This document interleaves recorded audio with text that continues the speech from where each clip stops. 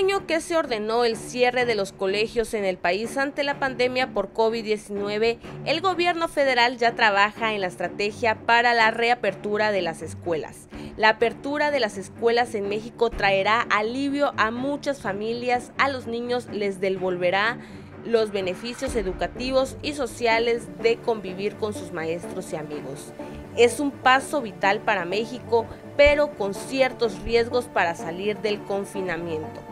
El gobierno federal, en particular con el grupo asesor científico y la SEP, trabajan en el plan para la reapertura de las escuelas del sector público, mismo en el que se analizan puntos de importancia como el tamaño de las clases, el uso o no de cubrebocas por parte de los alumnos y la garantía de una buena ventilación.